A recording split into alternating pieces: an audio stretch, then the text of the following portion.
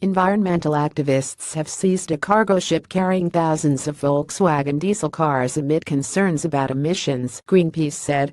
Protesters used kayaks and boats to reach the 23,000-ton car carrier in the Thames estuary at around 8.30 a.m. on Thursday. They climbed up and were hanging from the ship's 27-mi unloading door and have pledged to remain until Volkswagen takes its toxic cars back to Germany. More than 40 environmentalists also scaled fences at Sheerness Port in Kent, the intended destination of the ship, and gained access to the vehicle park, where thousands more Volkswagen cars are awaiting distribution to UK suppliers, according to Greenpeace. They are attempting to immobilize the diesel models by removing the keys and are labeling the engines with messages urging the manufacturer to ditch diesel.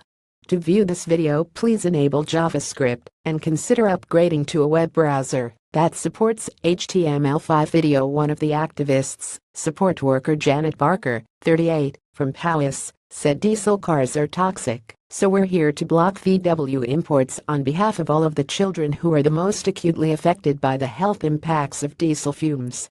VW's polluting vehicles are adding to a public health emergency harming thousands of people. Volkswagen Group sparked outrage in September 2015 when it was found to have fitted software designed to cheat emissions tests to 11 million diesel vehicles worldwide, including almost 1.2 million in the UK.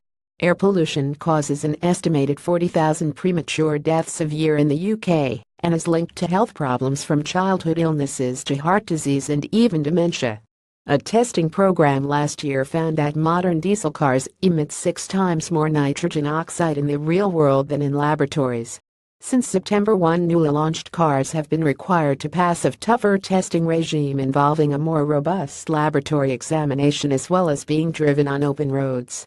The government announced in July that new diesel and petrol cars and vans will be banned from 2040 as part of efforts to tackle air pollution. Seffi's dad Bo Ruin, who works in data for Greenpeace, said my daughter Seffi has developed severe respiratory problems which can render her housebound for a week at a time. The wealth of evidence connecting air pollution to respiratory problems in children is now overwhelming. Our country's children, like Seffi, are developing real health issues across our cities, made worse by air pollution. Unless we ditch diesel, we could end up with a whole generation of children with damaged lungs. VW said in a statement we are aware of a protest this morning at the Sheerness port in Kent. The ship contains a variety of Volkswagen Group vehicles, including petrol, diesel, and plug-in hybrid models. The diesel vehicles, which are the subject of the protest, meet strict Euro 6 standards. Professor Jonathan Grigg, a leading expert on the impacts of air pollution on children's health, and the founder of Doctors Against Diesel Group said we know that air pollution and diesel emissions can greatly impact children, from childhood lung development to asthma. Given the scale of the air pollution problem in London, it's sadly predictable that we're seeing so many children across the capital, like Seffi, suffering from respiratory problems.